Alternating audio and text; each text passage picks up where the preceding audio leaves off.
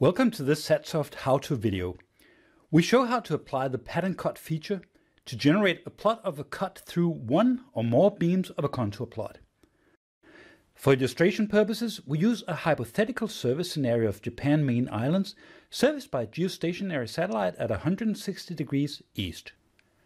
The antenna is a single offset reflector fed by six feeds that are placed such that their individual element beams cover the intended service area well. We see the contours of these beams here. If we're interested in seeing the crossover levels between the beams, we can now do the following. Right-click on the Antenna tab in the Project Explorer tree and select New Pattern Cut. First, notice that the projection is given in the current map projection. Some of the more exotic map projections will not allow you to generate a cut. Those could be gamma space, ground space, equal area, and orthographic. Next, you can select to perform the cut through element beams and or composite beams. Currently, only element beams are shown, so that is what we select. A cut is defined by means of a starting point, an end point, as well as the resolution. It's possible to locate the cut interactively on the map in this way.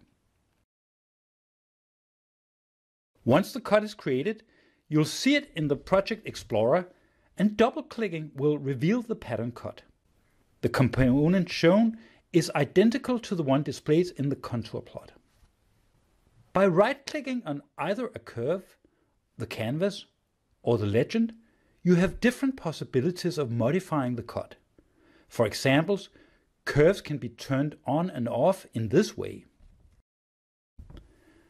The color or line type can be changed like this. And data may be viewed and exported in different formats as shown here.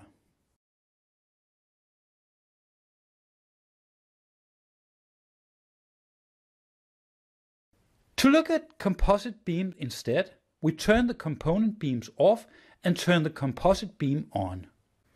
We may use the same cut as before or create a copy of it, but we need to modify its properties by right-clicking and selecting Edit Properties. Here, we select Composite Beam. We can also change the position of the cut to intersect the main lobe better, as seen here.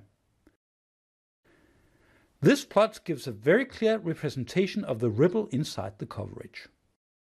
A pattern cut can also be defined in the composite view, where it can include more than one antenna. This gives the possibility of comparing different antenna patterns in more detail, as offered by the cut plot. We have created another antenna which is optimized for slightly different coverage. And it's possible to compare the two beams in the composite view as follows. First, we'll change the map projection to longitude and latitude as seen here. Next, we define a new pattern cut and select to define it by the mouse. I try to generate a straight vertical line and I can adjust the coordinates precisely subsequently as shown here. We now see a comparison between the two patterns along a constant longitude coordinate. With the pattern cut feature, it's possible to further refine investigations and comparisons of the satellite antenna patterns whether they come from external sources or generated internally, and whether they are from multibeam or shape reflectors. Thank you very much for your attention. I hope you enjoyed learning about the pattern cut plot feature.